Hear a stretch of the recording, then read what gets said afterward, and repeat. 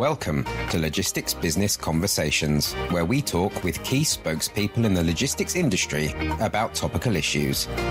Hosted by Peter MacLeod, editor of Logistics Business Magazine. Good morning, good afternoon, good evening, wherever you are around the world. Welcome to the latest Logistics Business Conversations podcast.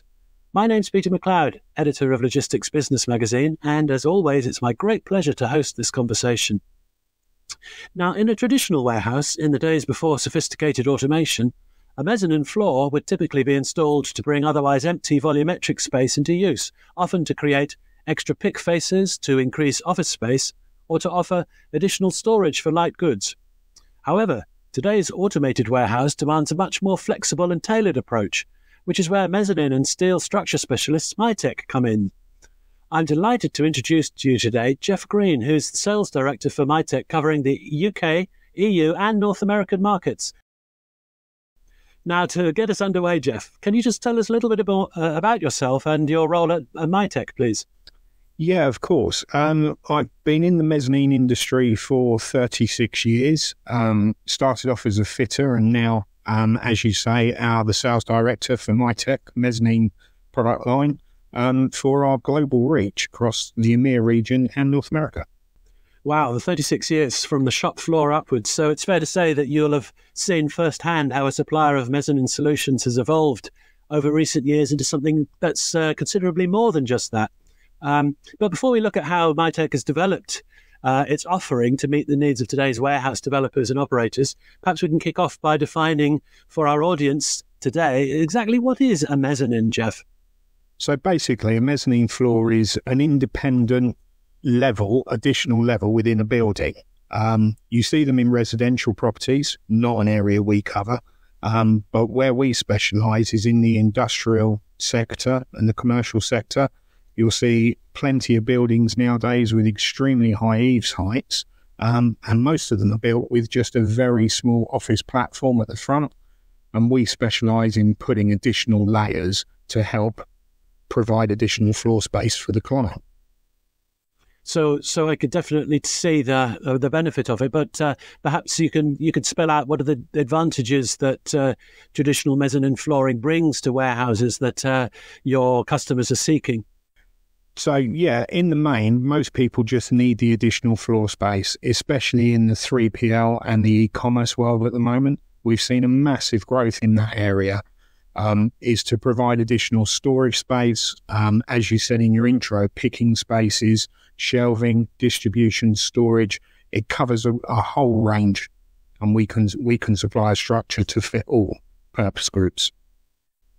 Now, this is an expression I find myself saying a little bit too often, but do forgive my ignorance. I, I just imagine a mezzanine as a flat platform, but uh, what about when you've got automation in a warehouse? Uh, do, you, do you have to take that into consideration?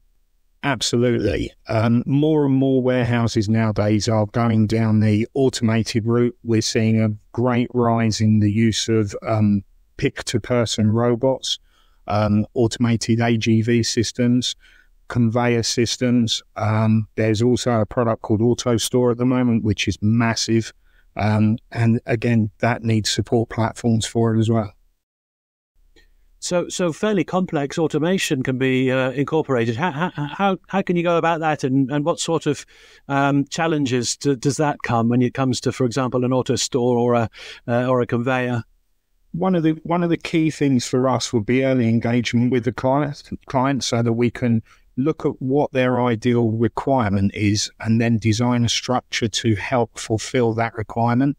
We work very, very closely with probably 10 out of the top 15 integrators globally.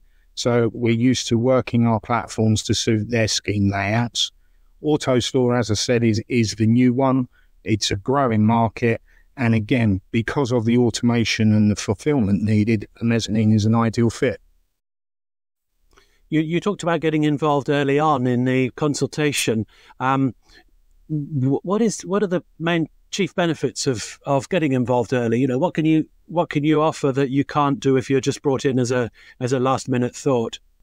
One of one of the main areas where we support is is because of our experience and our knowledge of the industry, we've normally seen everything before, and we can see when we get delivered early schemes where the pitfalls are for the client. For instance, nobody wants vertical columns because they get in the way, and nobody wants bracing because, again, they get in the way. But what they don't consider is by opening up the grid pan to remove the columns, what the impact is on the slab. So by bringing us in early, we can help design the scheme for them, provide the necessary load information that's required so that they can build the concrete slab to support the mezzanine. Right. So literally from the ground up, uh, a, a, a, thicker, more um, stable slab will reduce the amount of columns in the warehouse, which therefore optimizes storage space. Absolutely, yes. And we have we do everything from using an existing building where we'll try and find out what the load capacity of the slab is. We can then advise the customer based on that information what the optimal grid pattern is. Most customers in the smaller part of the market will accept that. But when you start talking about the much bigger e-com players, they they are more interested in having that usable space at ground floor. So when the slab's designed, depending on the size of the grid, they'll either put mass concrete footings in, pile foundations, or as you said, Peter, a thicker slab to compensate for the loads. And we talked about automation earlier on in the conversation. Uh, I guess you've got a design team that are staying abreast of sort of current and future automation trends so that they know how to uh, to work best with those types of solutions. Absolutely. Again, we, we're one of the largest mezzanine floor suppliers in the UK. Our ambition is to become one of the largest suppliers in Europe, and our team grow with us. All of our designers have been with us for a long time. And because of our client retention, they've learnt the systems and understand the development of the system to work very closely with our integrated partners. In the uh, ever changing world in which we live in, not to, uh, uh, or to, shall I say, to paraphrase Paul McCartney, um, is it possible to provide a solution that can be as future proof as possible uh, when it comes to mezzanines? It is. It's something that we developed a number of years ago. It's what we call our MES 7 system what that provides is it gives the client almost complete flexibility and future proofing for their mezzanine. It is a premium product, of course, but we found there's one particular ecom client who's very global, very large, and they've really embraced the MES 7 system because it gives them flexibility as their business needs change in the future they have the ability to change their first floor, their second floor, their third floor layouts because our structures can accommodate those changes. Geoff, we talked a bit about Ecom just now. Is this typical business that uh, would benefit most from a mezzanine, mezzanine solution? It's one of many that will benefit from the mezzanine solution. We have seen a great rise in the requirement from the ecom sector, mainly off the back of COVID. Um, but we've also seen logistics and distribution really ramping up. Um, companies such as FedEx, UPS, DHL, they all need to get the their products or their clients' products to their customers quickly.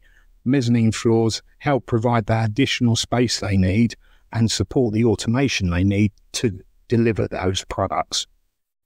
Geoff, to the best of my knowledge, the instances of accidents involving steel structures, mezzanines, and racking are reducing year on year.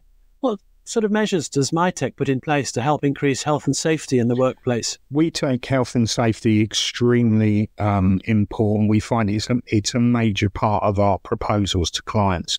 We have a, a very experienced SHEQ manager um, who vets all of our risk assessments and our method statements. We have extremely experienced project managers um, that look after the projects as they're starting to go into the delivery phase. Um, and one thing we do on all of our projects is we always supply a site manager so that they can oversee the installation team to ensure they're adhering to the risk assessments and the method statements. Um, and we do this in consultation with our clients. And again, I think it's one of our key selling points and one of the main reasons why our clients keep coming back to us year after year. Well, we ran a poll, Logistics Business ran a poll on our socials ahead of this podcast, uh, and we asked what's the biggest non financial barrier when deciding to install a mezzanine in your warehouse? And top answer at just under 40% was safety and legal compliance. Well, we've mentioned safety. Uh, what about legal compliance, Geoff? Again, with the design team and the experience we have, we keep abreast of all of the changes to the design codes that are required, as well as health and safety codes, of course. Um, so we're always designing to the up to date requirements. The most common one at the moment is Eurocode 3 for steel structures. Um, we have a technical director who, similar to me, has been in the business for 30 plus years. Um, and all of our design team have over 20 years' experience.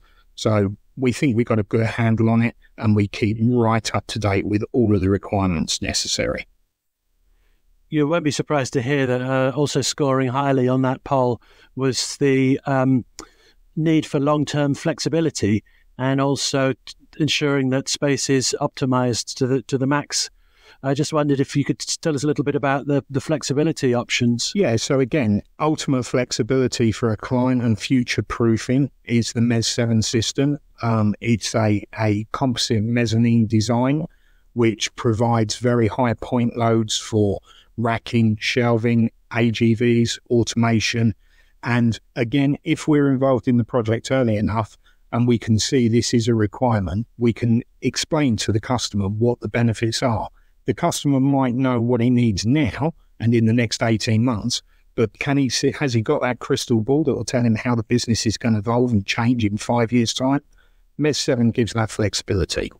Wow, that's great to hear. And uh, t- talking of customers, we've got a couple of audience questions come in as well. Um, and I wanted to ask you this because it's also in, uh, mentioned in our poll. Um, the question is Our warehouse currently has limited floor space and we're looking to expand our storage capacity without relocating.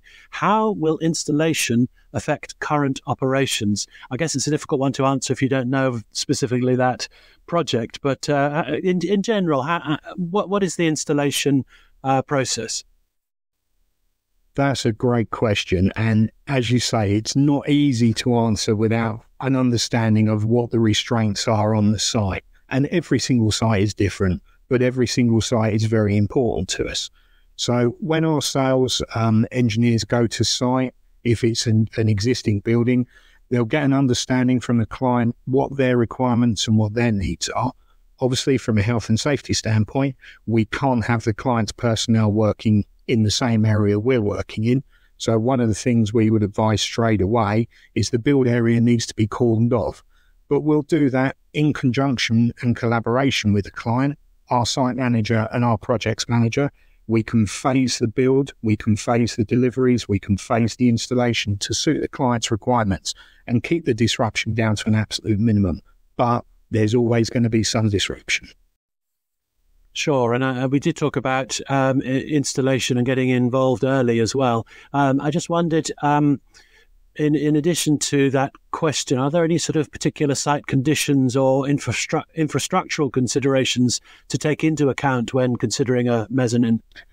The main one on an existing building is obviously access, lay down areas for materials, because as you can imagine, mezzanine floor is just a big boy's Meccano kit in reality but we need to unload it, we need to stack it and store it correctly.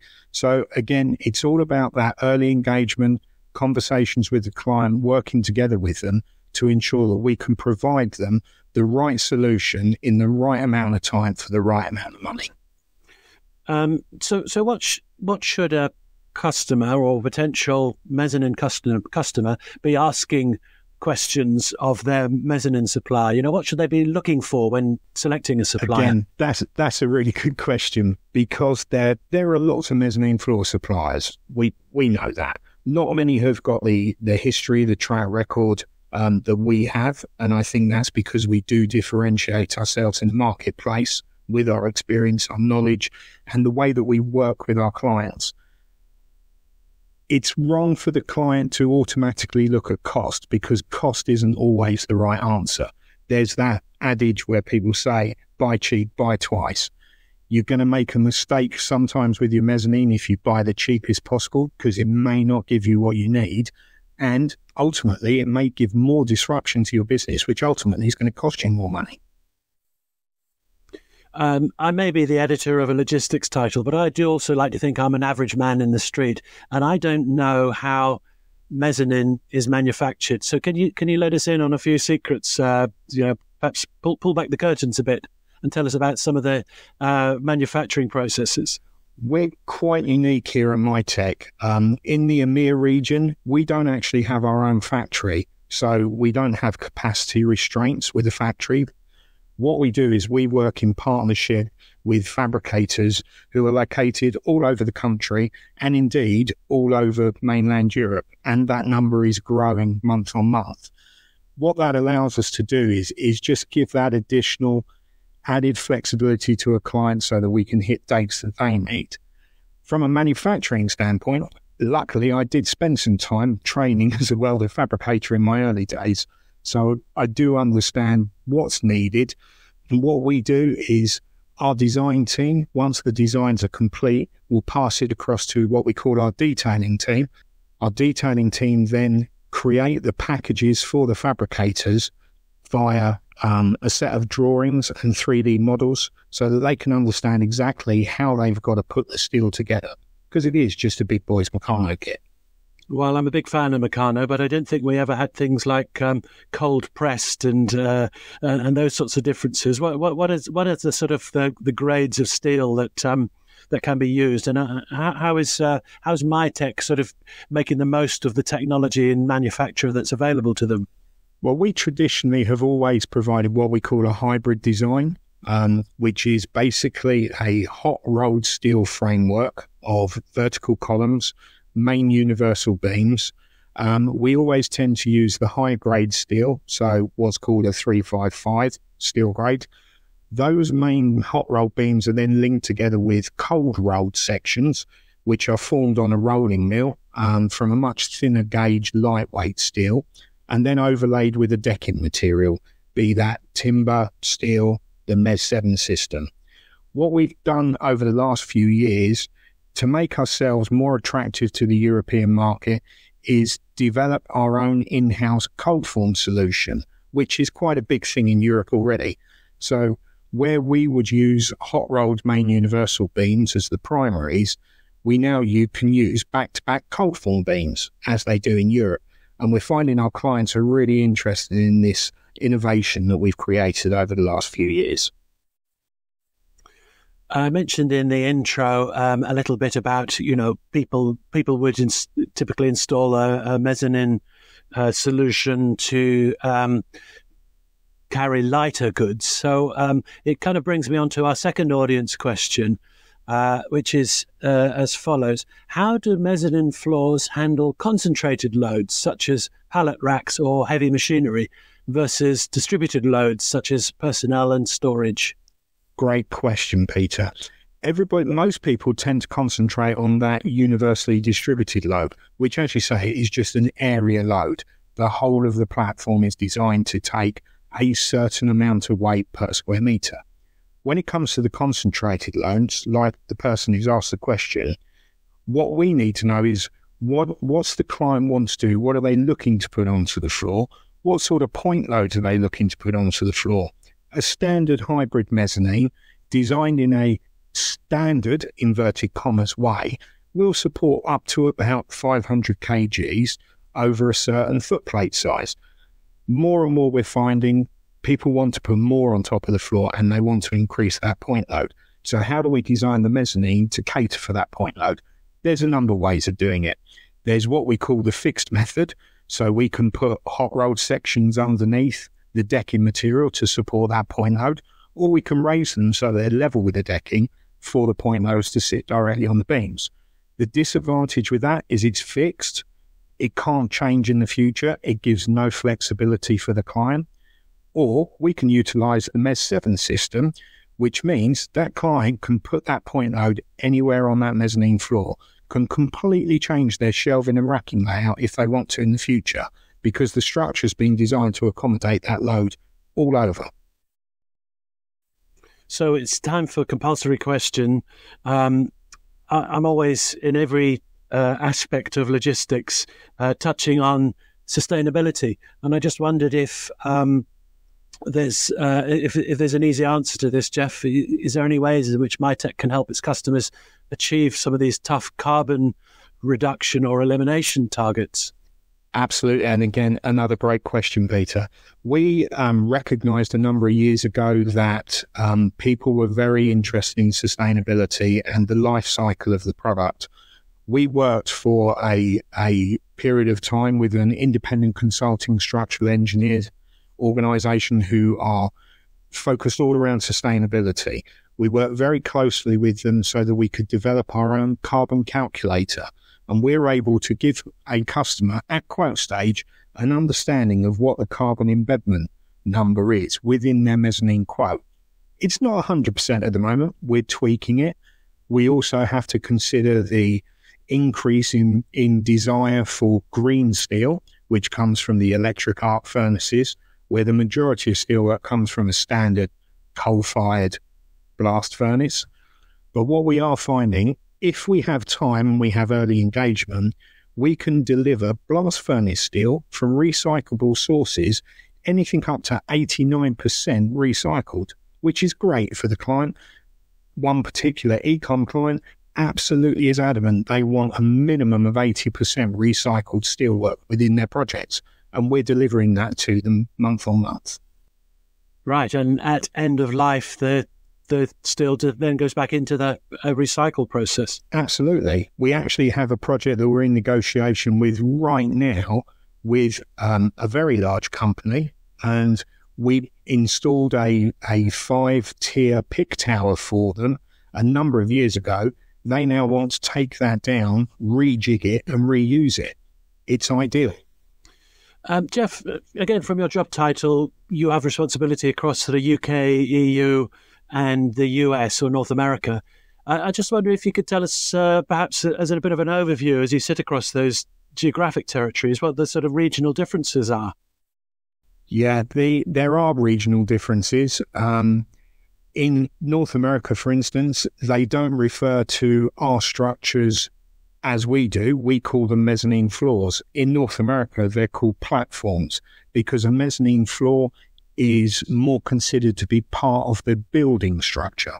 So that was one of the first things that I learned very quickly. One of the other things that I find really interesting working with my North American team is we actually have a factory in North America. Um, we can produce thousands of pounds of fabricated and finished steelwork to a very, very high standard. We have our own unique range of system products out in um, North America that nobody else can produce except for us. Um, and yeah, it, it's a great place to be at the moment. You're going to either love this or hate this question. Um, I'm going to ask you, and as it's a podcast, we can't see you actually getting your crystal ball out, but we have to assume you are. Um, I want you to talk perhaps a little bit about the uh, how you see the shape of the market panning out over the, the sort of the short term future, short to medium term future a great question. And no, I, I can't find my crystal ball at the moment, Peter. Um, I think we there there has been a period of uncertainty, um, especially this year, and especially in the UK. The the UK market does feel as though it's slightly deflated. Um, however, we're starting to see some green shoots for the UK, and I'm really optimistic that we're going to have another fantastic year in the UK next year. I'm absolutely confident that we will be the number one mezzanine floor supplier in the UK, um, as independently verified by Plimsoll from a revenue standpoint. In the EU, it's a completely different market to us. We've only been in it for a few years now. Um, it would be fair for me to say that we're scratching the surface and we've got a long way to go. But I'm absolutely confident we've got the right team in the right place in a market that we can really expand into and make a difference to our clients. They want us to go with them. So that's what we're going to do. North America, again, a slightly a slightly more complex view. Again, I think the market is a little deflated and there's reasons for that. The elections going on, there's a little bit of uncertainty in the business world.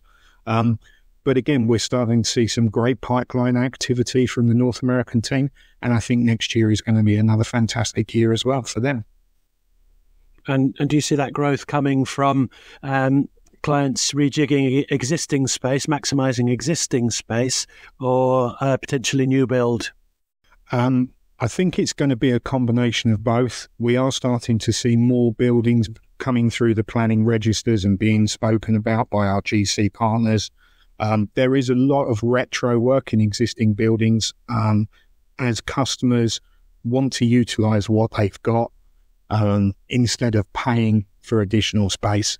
And that's again just a perfect location for a mezzanine floor. If you've got a building and you've got nine meters plus eaves height, you're paying for that space to heat it and light it. Why not utilize it? Yeah, that makes uh, that makes uh, very good sense.